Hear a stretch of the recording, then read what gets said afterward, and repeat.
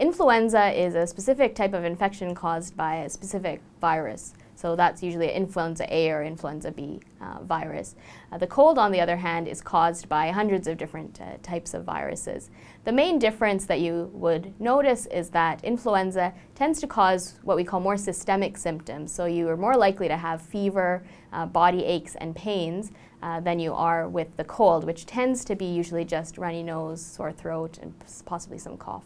The best things that we recommend for people who have the common cold are to get plenty of rest, to drink plenty of fluids, and uh, you can use kind of symptomatic relief methods in terms of uh, ibuprofen or acetaminophen to help yourself feel better until your body's able to fight it off itself once you have a viral infection of any kind, there is an increased chance that you might develop a superimposed bacterial uh, infection. So this can look like a few different things. Um, uh, ear infections uh, can be an example of that. Your risk of developing a bacterial sinusitis could go up, and your risk of developing uh, pneumonia or a lung infection can go up as well.